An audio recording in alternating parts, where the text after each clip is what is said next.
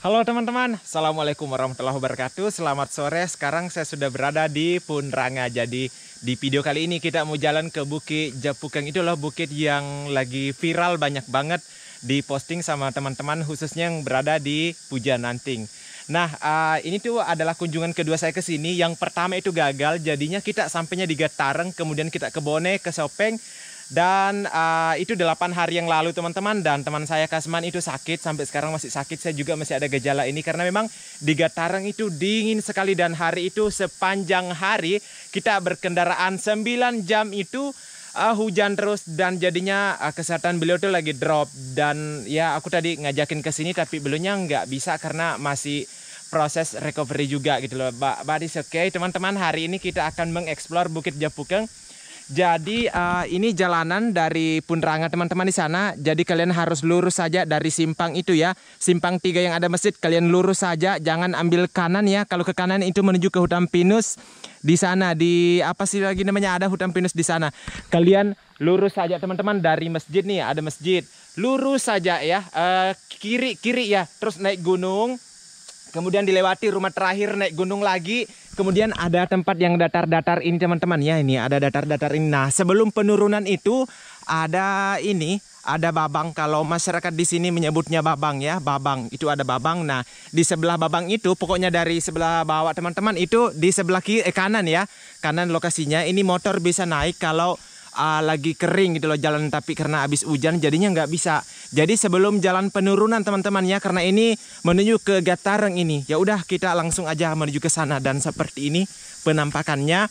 Saya berharap sekali semoga video ini bisa membantu teman-teman dan tidak nyasar kalau ke sini. Ya semoga saja hanya saya teman-teman yang nyasar dan uh, tembusan ke Gatareng. Tapi ya itu tidak jadi masalah ya karena uh, dengan kesasarnya saya maka saya itu semakin banyak tahu di daerah sini gitu loh karena saya nanya-nanya terus. Jadi di sepanjang jalan di sini teman-teman itu um, ada padang rumput kemudian uh, kalian bisa lihat itu adalah pohon mahoni ya. Itu pohon mahoni sudah lumayan besar juga. Nah ini kentara jalannya naik seperti itu. Nah itu jalan menuju ke Gatareng di sana teman-teman. Luar biasa itu. Wow amazing. Aku sarankan buat kalian ke Gatareng jalan-jalan ya. Karena itu menarik sekali. Ini ke atasnya tidak begitu jauh teman-teman. Uh, tapi ya lumayan sih kalau ini motor bisa ya kalau lagi kering. Tapi kalau kayak gini saya tidak menyarankan. Eh, artinya kalian harus cuci motor lagi. Karena di beberapa titik kayak di depan saya ini itu memang licin, licin. Ini lagi gerimis parah teman-teman. Ini memang masih musim hujan di Pujan Anting dan sekitarnya. Ini jalan naiknya ya. Uh, minta maaf juga kepada teman-teman di sini khususnya Ardan ya. Um, saya tidak menginformasikan kedatanganku ke sini ya. Uh, terima kasih juga buat teman saya Fahrul Wahyudi karena beliau yang menginspirasi akhirnya saya berani datang ke sini. Ini kalau pakai motor trail bagus sekali teman-teman melewati bukit-bukit ini uh, nuansa alamnya tuh terasa banget gitu loh. Ini dari bawah tadi itu sudah tiga menit ya perjalanan menuju ke sini. Ini dikit lagi. Jadi langkah kita dipercepat karena ini gerimis. Dan saya berharap sekali gimana ya? Uh, semoga video ini tuh membuat kalian tidak nyasar kalau mau ke Bukit Japukang. Yap. Ini ada padang rumputnya, bisa camping di sini teman-teman ya. Tapi saya sarankan kalian itu jangan meninggalkan sampah ya. Bukit Japukeng di atas lagi. Sebenarnya ada jalanan yang lebih yang lebih apa? Lebih singkat ya dari ini tapi saya sarankan lewat di sini karena ini jalur resminya. Uh, bapaknya ada di depan sana warlock di sini. Wah, luar biasa. Ah, udah dekat kayaknya. Main rewiti asik, Pak. Iya. Mabela-belamu, Pak? Oh iya iya. Engkau galak Pak selengnya he? Oh iya, matomi lalang di? Nola bisa montrak kau tikai? Iya, nola. Oh iya iya. Iya, Pak, makasih banyak.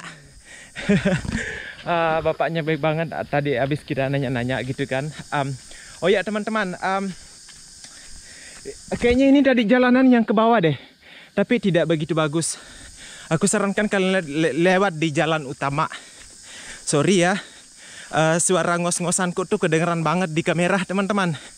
You know lah, aku tuh begitu excited karena di awalnya aku tuh nyasar dan pada akhirnya saya menemukan jalan. Memang um, saya tuh termasuk tipe orang yang tidak pernah menyerah ketika ingin uh, mengunjungi sebuah tempat. Nyasar menurutku itu adalah pengenalan teman-teman. Dan semakin aku nyasar itu semakin banyak pengalaman yang saya dapat dan tidak akan terlupakan begitu. Oh iya, informasi baru juga nih buat kalian. Kalau misalkan ingin mengunjungi wisata yang ada di Pujananting dan sekitarnya, jangan ragu-ragu bertanya kepada masyarakat sekitar ya. Karena notabene um, masyarakat di Pujananting ini sopan dan beradab.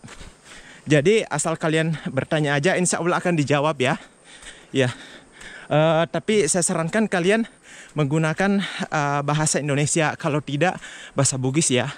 Jangan sungkan. Uh, di sini tuh orangnya tuh baik-baik banget ya. Tidak pernah jimakan orang. Dan guys, hampir maki sampai. Oh my god. Emang keren sekali jalannya teman-teman. Walaupun agak licin sedikit sandalku. It's okay. Wow, oh ya Allah, ternyata seperti ini masih pembangunan. Oh no no no, keren banget. Wow, memang sawahnya tuh ya Allah cantik sekali teman-teman. Uh, luar biasa. Oh, dan ini rumah-rumahnya tuh ya Allah. Ternyata seperti ini Bukit Jepukang ya. Oh, dan ini yang viral teman-teman di Instagram, di TikTok ya Allah. Ternyata seperti ini ya jalan naiknya. Ah, teman-teman, ini detik-detik Om Sul sampai di Bukit Japukeng. Sorry guys, aku pakai sendal. Saya begitu excited dan banyak orang berfoto di sini. Ya ampun, tapi ini agak goyang-goyang sedikit loh teman-teman. Agak goyang-goyang sedikit ini karena dia menggunakan bambu dan masih menggunakan tiang biasa. Uh, semoga pemerintah segera memperbaiki ya, karena di sini menurutku tuh cantik sekali pemandangannya. Wow, itu tadi jalannya teman-teman. Ada simpang tiga ya. Lurus aja ke situ ke situ naik gunung naik gunung ya. Tuh terus ke sana tadi ya. Jadi kita muter dan sampai dari sini. Oh my god. Ternyata seperti ini. Dan uh, teman saya Ardan uh, Wahyudi uh, Pahrul dia tuh berfotonya di sini loh teman-teman. Dia kira-kira kayaknya berfoto seperti itu. Emak cantik sekali. Nah itu sawah eh ini ini agak-agak danger loh teman-teman tapi aku ini mau duduk-duduk tapi agak sedikit goyang-goyang sih sebenarnya. Tapi it's okay. Emang indah sekali ya Allah. Sampai mi Om Sol di sini. Ini pencapaian banget aku hari ini bisa sampai di Bukit Japukang. Ah, luar biasa, walaupun kameranya ini lagi ada titik airnya teman-teman. Maaf ya, uh, GoPro kita emang kayak gini. Uh, ini, lihat deh sekeliling. Luar biasa, ya Allah cantik banget. Kenapa baru aku sampai di sini lah? Itu hari itu nggak sampai-sampai loh teman-teman. Aduh. Oke, masuk lagi. Ya udah uh, lihat aja teman-teman sekeliling. Sayangnya di GoPro ini tuh nggak bisa ini teman-teman, tidak bisa di zoom manual ya. Paling nanti di zoom digital tapi ini videonya tidak akan saya edit. Aku maunya videonya asli gitu loh 100%. Dan lihat teman-teman. Uh, cantik sekali. Ini kayak bukan di Kabupaten Baru serius, kayak di Jawa teman-teman. Di Majalengka tuh. Kalau kalian pernah ke Jawa, ke Jawa Barat tuh banget mirip banget itu. Oh ya Allah cantik sekali teman-teman. Uh, di sana bulu merenong ya. Jadi kita di belakangnya bulu merenong. Jadi perjalanan saya teman-teman untuk sampai di sini tuh kurang lebih satu jam. Uh, memang perjalanan tuh indah sekali. Di Jempulu juga ada tempat wisata, bukan wisata ya, ada sawah yang cantik kayak di bawah sana. Tapi itu di pinggir jalan kalau di Jempulu. Tapi kalau di sini tuh, masya Allah beneran. Nanti aku rencananya dari situ ya, aku rencananya mau masuk ke dalam sana. Aku mau lihat itu sawahnya seperti apa. Kalau dari dekat tuh ya Allah cantik banget kayak aku ndak nyangka banget loh bisa sampai di Bukit Japukang ini. Aduh luar biasa teman-teman. Ini uh, kita pergi berteduh di situ dulu ya karena ini tuh lagi hujan parah banget guys. Eh ada tempat ayunan juga di sini, ada bekas orang mak bakar-bakar. Ini tempat ayunan. Kayak gimana lah ini caranya? Oh mungkin gini aja kali. Tapi ini aku tidak sarankan ya kalian ke sini ayun-ayun di sini karena ini masih menggunakan lat teteh. Kalau di sini disebutnya lat teteh. Ini sewaktu-waktu bisa roboh. Kita coba apakah berat 64 kg bisa menampung ini. Ternyata bisa teman-teman. Tapi aduh aduh aduh, mak detok. Hmm, hmm, hmm. Itu he, hampir mie hancur. Eh jangan eh, sekali-kali naik di sini teman-teman kalau kalian ke sini. Jangan ini bahaya nih karena pakai latte ji. Ya udah. Uh, kita samperin ke atas. Ada apa di atas sana? Karena saya perhatikan juga ada bekas jejak kaki. Ini bukit rekomendasi banget teman-teman ya. Aku tidak membandingkan di Makdo tapi menurutku uh, worth it banget kalau kalian datang ke sini ya. Ini ada jalan ke sini juga. Oh ini kayak ada bekas lempong ini. Tempat berkubangnya sapi. Dan sepertinya ini ada bukitnya di sini.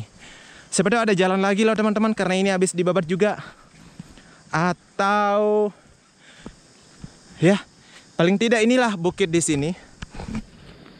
Hmm, tapi lagi-lagi sudah ada sampah di sana teman-teman ya ampun. Padahal wisatanya baru dibuka ya Allah. Itu tadi jalan ke Gatareng teman-teman ya. Jadi kita uh kayak SS ke sana ke sana ke sana tank ke sana deh. Itu ada tower itu di sana ya di Gatareng, di Gatareng di atas sana itu. Jadi kita di sana ada jalanan SSS. Uh, terembus ke atas sana. Uh, sebenarnya hari ini aku bisa aja tembus ke sana. Tapi aku mikir lagi uh, nanti kalau terjadi apa-apa dengan motor itu akan nanggung sendiri akibatnya dan agak berisiko juga sebenarnya ya. Oke, teman-teman. Ini dia uh, kameranya juga sudah kebasahan. Ini sepertinya di sini ada lempong ya. Ini bekas uh, kubangan sapi. Ada jambu di situ tapi belum masak. Yuk kita kembali ke bawah. Uh, melihat seperti apa gitu loh teman-teman. Aduh luar biasa. Aku tuh happy banget. Akhirnya bisa sampai di sini loh teman-teman tuh. Emang bukitnya tuh indah sekali. Wow, luar biasa. Luar biasa. Uh, Pak Amir Budpar juga pernah ke sini yang pariwisata itu ya. Aduh keren banget loh guys, tidak menyesal wajib banget buat kalian jalan-jalan ke Bukit Japukeng. Um, dan saya berharap sekali kepada para pengunjung, please sampahnya itu dibawa turun. Atau kalau misalkan kalian tidak uh, malas ngurusin sampah, nggak usah bawa apa-apa. Kayak saya ini, saya cuma bawa diri, bawa kamera, udah. Saya tidak bawa sampah sama sekali teman-teman. Saya tidak bawa air minum, tidak bawa makanan, karena saya mikir ke sampah ya. Ya, aku penasaran mau uh, one day mau jalan ke sana itu ada bukit-bukit yang indah di sana. Tapi aku masih penasaran lewat di mana. Kayak cantik banget di sana deh camping-camping begitu teman-teman. Duh, keren guys, keren. Kita coba ke sini. Ini masih proses pembangunan deh kayaknya. Iya teman-teman, ini bahaya nih. Ini masih proses pembangunan ini. Nah ini nanti akan dibuat di situ juga. Tapi yang paling keren sih di, di situ ya. Ini kita berada di sini. Soalnya hujan guys, hujan. Ini rencananya tadi kita mau ini apa sih lagi namanya berteduh tapi nggak jadi-jadi karena asik banget melihat keindahan alamnya di sini. Kita coba duduk di sini. Semoga bambunya tidak aneh. Kita berlindung di bawah pohon mahoni yang gede itu ya. Luar biasa teman-teman. Bukit Japukeng.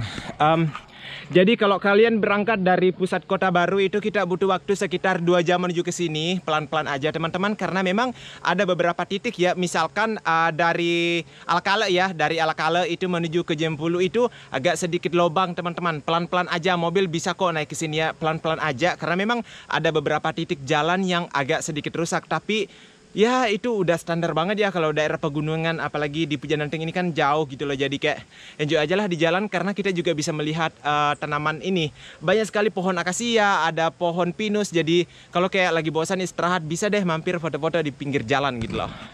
Ya ampun aku nih nggak bisa berhenti ngomong. Teman-teman nyampe di sini tuh memuji tuh. Ya Allah masya Allah indah sekali guys Uh, sampai maka di sini setelah nyasar teman-teman sampai ke Gatareng. Dede de, indah sekali memang ya Allah. Dan tadi emang aku termasuk tipe orang yang blow on ya. Tadinya aku mau parkir di bawah sana dan jalan menuju ke sini. Muka gile. ya udah teman-teman, kita sedap dulu sampai ketemu di video selanjutnya. Thank you for watching. Bye bye dari Bukit Japukeng di Pujanante.